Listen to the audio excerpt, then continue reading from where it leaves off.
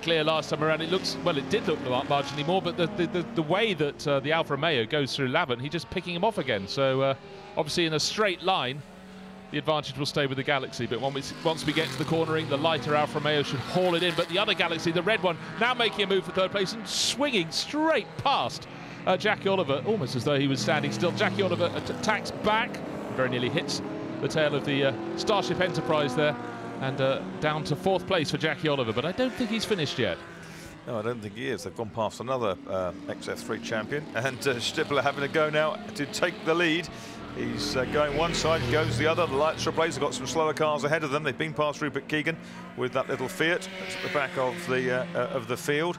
Who are they going to catch next? The gap between them, 0.35 only after seven laps. They've still got 13 and three quarter minutes to go, and it's an absolute thriller because through into third place, as you saw, has come Tom Kristensen in the 83 car. Jackie Oliver down to fourth. We've lost the um, Anthony Reid Jaguar along the way. They've gone past the Isuzu Bellett of Alec Poole, 1969 British uh, saloon car champion.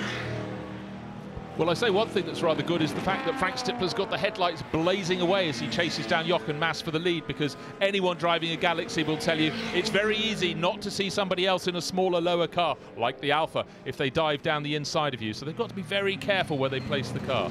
But anyhow, right now it's about half a second. No, it's not. It's about a tenth of a second as the Alfa Romeo yet again hauls in the Galaxy as they go through Lavant, going through the second part now. They've got the kink coming up and then accelerate down the straight. And that's the point at which the Galaxy ought to pull clear again. And the other Galaxy in second place is 83, uh, third place is uh, 83, pulling away uh, from Jackie Oliver's BMW as they head back down towards your part of the circuit. It was brilliant. In fact, a couple of belches of flame from Tom Kristensen's Galaxy. And in 63, when uh, John Willment brought uh, a Holman and Moody Galaxy over to the UK for uh, his Power Jack Sears to drive, they expected the car to be very quick in a, uh, in a straight line and actually not terribly good in the corners. They were pleasantly surprised and uh, rivals were deeply horrified because uh, the combination went on to win that 1963 British Saloon Car Championship.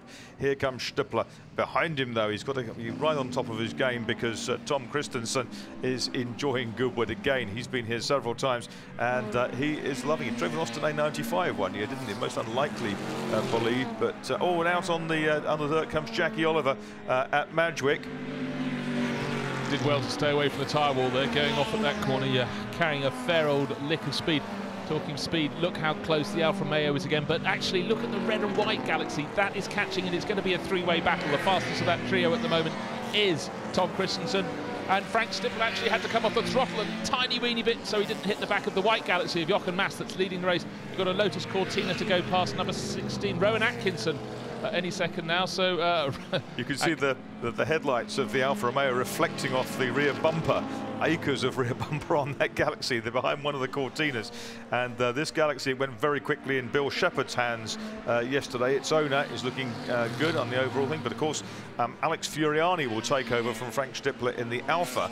And uh, down another Alfa gets uh, uh, down there, instantly dives to the outside, and through comes Frank Stippler. Uh, absolutely sensational piece of outbraking into Woodcote. Frank Stippler leads the way.